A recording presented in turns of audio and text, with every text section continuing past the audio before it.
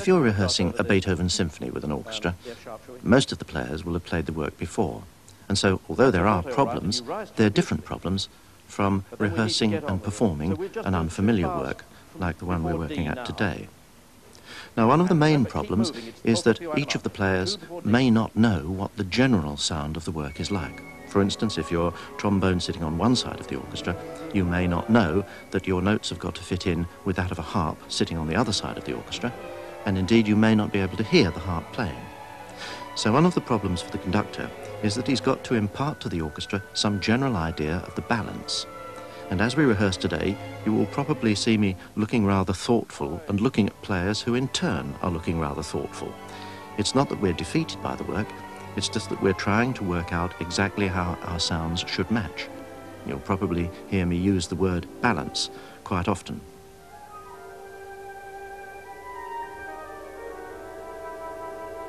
Now the big wave.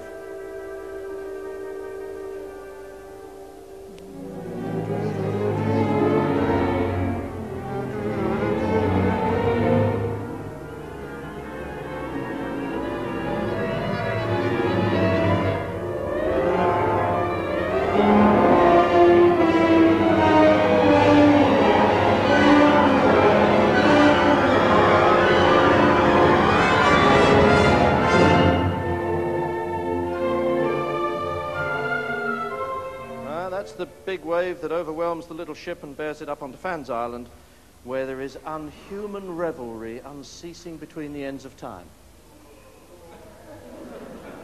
I knew you'd know all about that. Uh, that's, that's the bit where it says. that's the bit where it says gay but not hurried. I often feel sorry after rehearsals that the public haven't been admitted and that the players themselves hadn't got microphones pinned to their chest because all orchestras contain great wisecrackers and personalities. And some of the things that lighten the emotional burden of rehearsals are never heard. But you will probably see in this rehearsal that the Ulster Orchestra is full of such personalities and that it's impossible for a conductor to keep the smile off his face sometimes.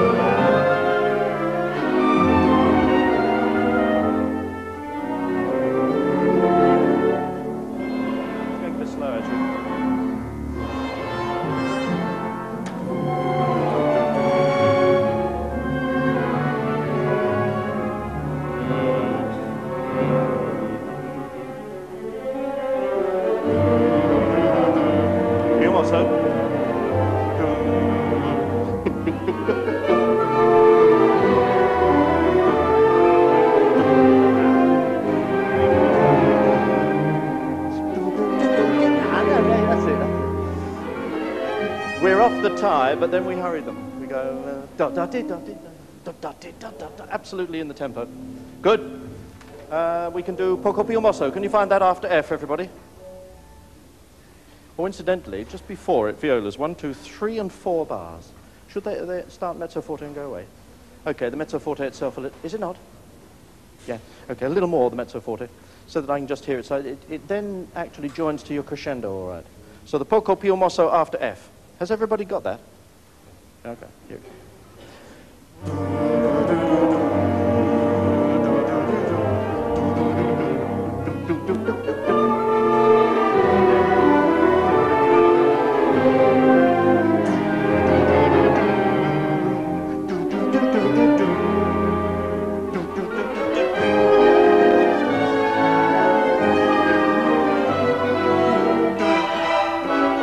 Música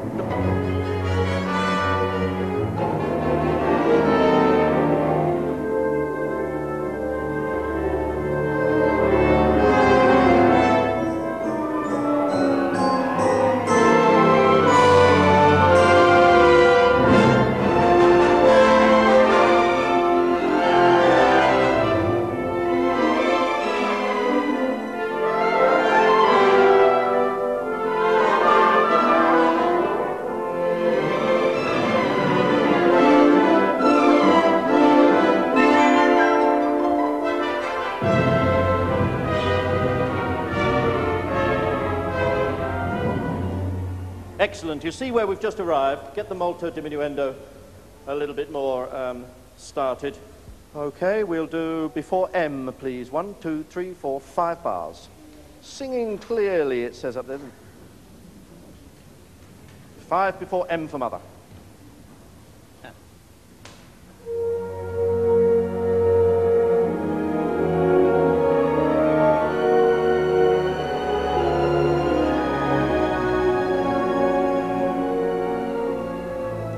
People always expect a conductor to emote all the time. Well, uh, I'm not really sure that it is very important that the emotional display of a conductor should reach an audience in performance. But certainly in rehearsal, if he emoted all the time, he'd wear his players out because players do respond to any emotional lead that you give them. This doesn't mean, however, that when a performance comes, in the sound there won't be a great deal of emotion. This is put together in a slightly different way. Sometimes a very light-hearted rehearsal can lead to a very powerfully emotional performance.